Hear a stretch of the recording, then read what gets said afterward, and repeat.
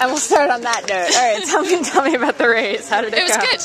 It was really good. I had a bit of an incident on the first corner because I thought it was straight. I thought Oh. turned left and uh, like skidded and stopped and put foot down and stuff.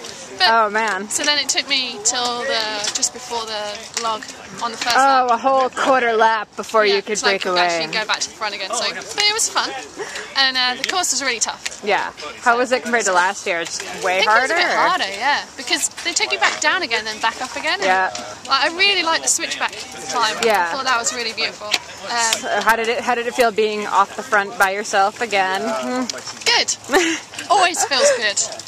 You never just get lonely out there. Like maybe I'll slow down and wait No, for someone so I I'm can having to hang try out. hard because it, it's not like the people behind aren't actually pushing me. Right. I'm having to try hard to ride that fast, so you're concentrating really hard. Yeah. what was the hardest feature on the course?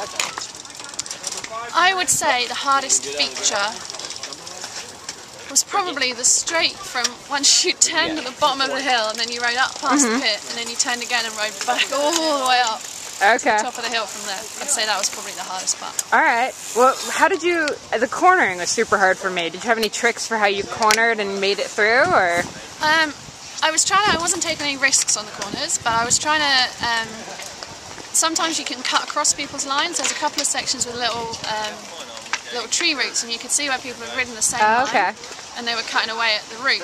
And if you could go higher than it or lower than it, you actually avoided that, and that's often quite the slippy part. So Uh, okay. I was just using my usual technique of how I ride Very cool. to ride the route. Awesome. And plans to win tomorrow, of course. A plan.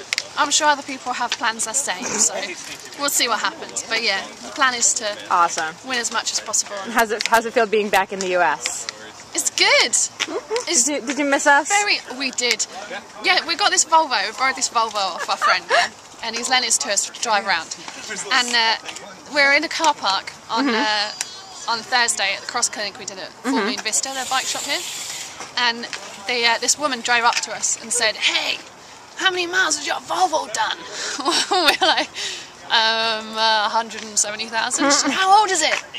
And uh, Steph goes, 2002. And she goes, mine's from 99. It's only done 120,000. We're like, okay, nice Good. to meet you. All right. Welcome, welcome to the U.S. cool. awesome. All right. Well, we're very happy you're back. Okay.